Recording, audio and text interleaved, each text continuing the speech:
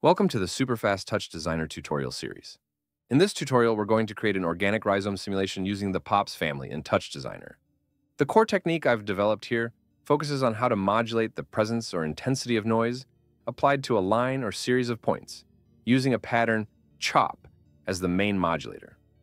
The goal of this composition is to explore how to generate lines that emerge from a clear root or base, distribute themselves across a surface, and grow in an organic way, like the natural root networks of grass or bamboo that grow outward beneath the surface, forming interconnected rhizomes. Chapter 1 Overview The first section, called Generator Lines, is simply a sequence where we use a point generator to get the initial positions, and a line that will be cloned based on the positions from the point generator. After that, we use a line Metrics to obtain the vert index and connect it to a noise to generate the first organic movement for each line.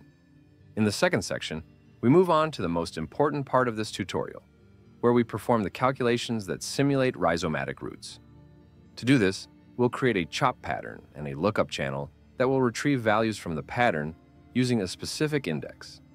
Then, we'll connect everything into a math mix, where we'll resolve the entire set of calculations that will make this operation work. Finally, in the render section, I've created a circle and a line metrics to activate the tangents allowing the circles to follow the line's position correctly.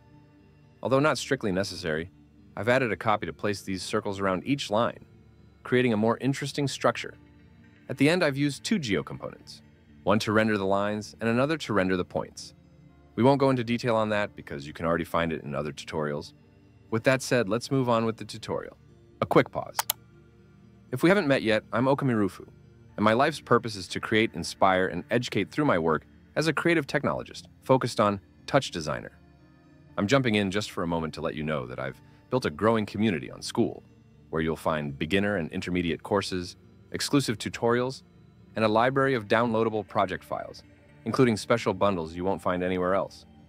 But more than that, it's an active, thriving space. For example, in one of the exclusive tutorials I uploaded recently, there are already tons of people interacting, sharing project files, asking questions, and helping each other. It goes far beyond a traditional academic setting. I've put a lot of energy into making it practical, efficient, and fun. And the best part? This space is slowly integrating all the value I've already built on Patreon, all in one place for the same price. I truly hope to see you there, sharing knowledge, experimenting together, and asking the questions that help us all grow. I'll leave all the links in the description. Chapter 2 Network. Let's start by creating a point generator pop. We'll choose the circle shape and set it to 200 points. Here you can try different amounts depending on your graphics card. For the orientation, since we want the lines to grow from the ground upward, the Z to plane works well. I'll increase the radius a bit to 1.5 on each axis. Now we create a line and reset its values, setting 0 and 1 in the second position so we get a vertical line.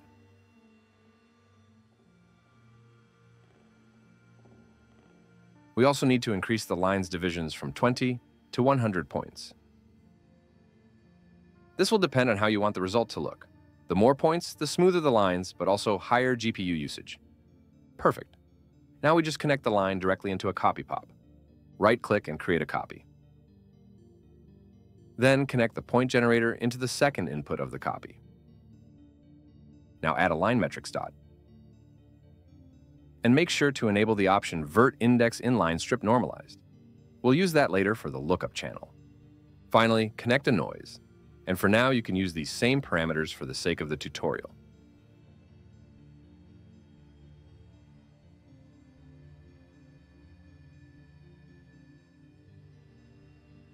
Later on, you'll have a lot of room to explore new variations. Now, go to the Output tab and rename the attribute created by the noise to something like p-noise because when we do the math, we'll be calculating the original positions p, along with the new positions created by the noise. Don't forget to animate the noise using absolute time seconds, divided by 5. Or whatever timing works best for you.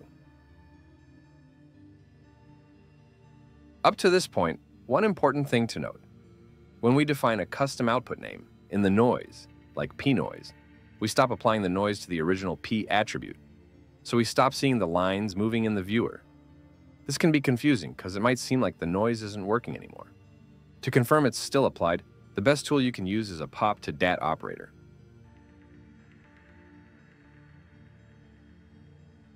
Search for the column with the new attribute we created and confirm that we have values under pnoise.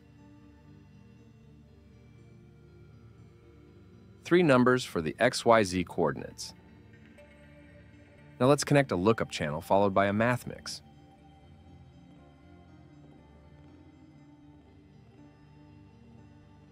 Don't worry about the error you'll see in the lookup channel. We're about to fix that. To fix it, create a chop pattern and select the ramp option.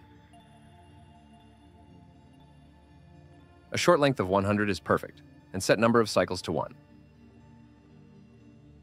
I also increased the amplitude to 3.5. But as always, you can vary this based on your exploration. Finally, drag the chop pattern into the lookup channel. For lookup attribute, use the line attribute called vert index norm. Select that and leave the rest as is. As the name for the new attribute, you can call it noise modulation. And now comes the most fun part. We'll perform a series of mathematical operations to create this rhizomatic effect.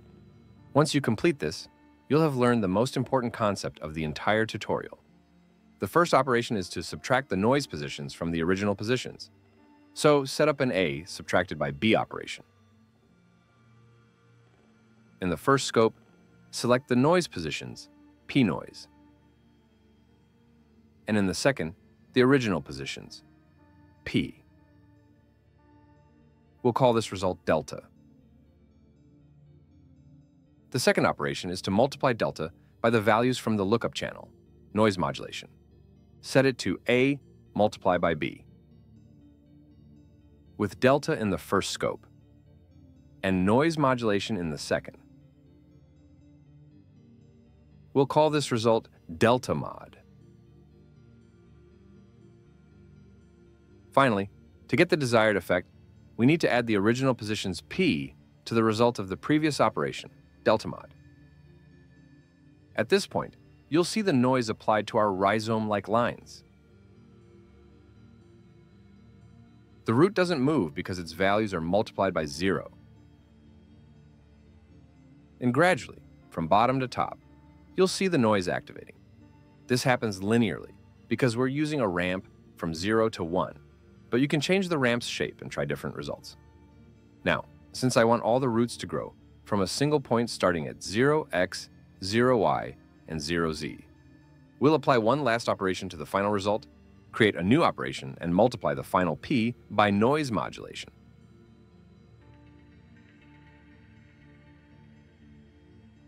This gives us the effect of all roots emerging from the center, just like how rhizomes often behave in nature. If you'd like to understand in much more detail how this math works, I recommend joining the conversation on my Skool, where in addition to courses and project files, You'll find study groups where we analyze each tutorial more deeply. Now for the final details. Connect a new line metrics to the math mix and enable the tangents. Above that, create a circle with ZX plane. And reduce the scale to around 0.025. The rest can stay the same. Now connect a copy to the circle. and the line metrics to the second input of the copy. Go to the Template tab and enable Template Rotate to Vector. Select plus Y for the direction and choose the tangent attribute. Now we have all these tiny circles cloned along the skeleton of our rhizomes. Connect this to your GeoComponent and we're done. Since I also want to render the lines, I'll just drag this result into a select operator that's connected to a second GeoComponent. And with that, we've finished the tutorial. I hope you've successfully completed this tutorial. If you enjoyed this video, don't forget to subscribe to the channel and smash the like button. If you have any questions, feel free to ask in the comments. I hope you've successfully